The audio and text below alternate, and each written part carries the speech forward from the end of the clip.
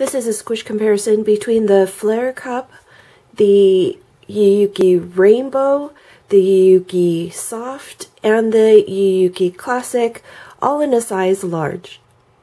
Hello everyone, it's Red Herring. I hope you're having a great week so far. This is a requested comparison by Dorothy.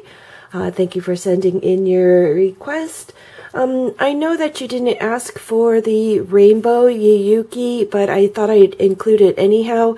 Uh, if you are truly not interested in the firmness of that cup, you can go ahead and fast forward.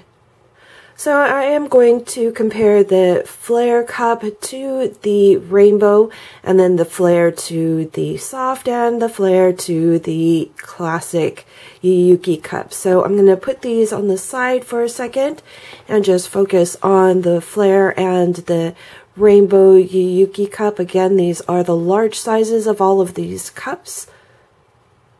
I will place both of these cups in the palms of my hands, give them a squish, swap hands, give them a squish again, and then compare the rims.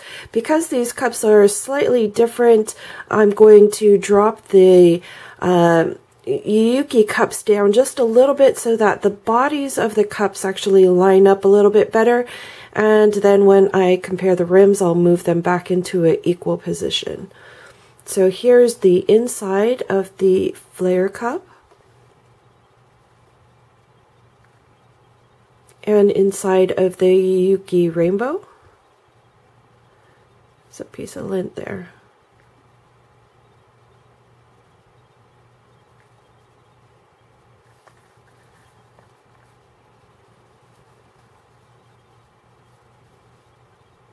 Inside of the Yuuki rainbow and the Fleur cup.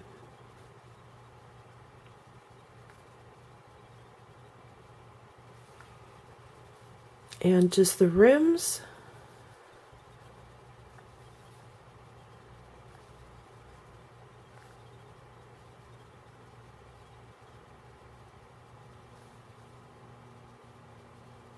Here are the Fleur cup and the soft Yuuki cup.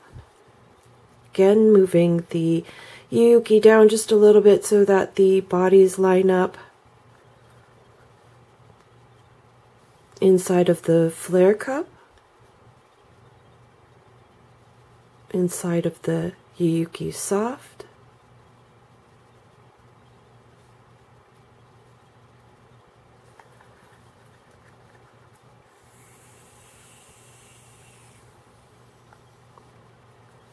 Yuuki Soft, and the Fleur.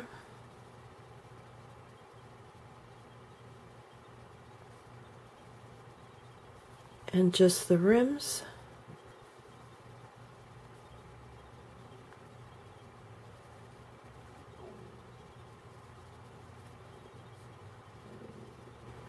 Here are the Fleur Cup and the Yuuki Classic. Inside of the Fleur Cup and inside of the Yuuki Classic.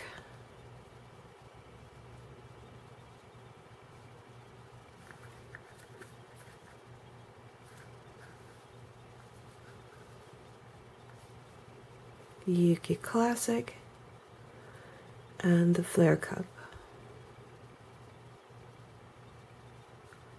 And just the rims.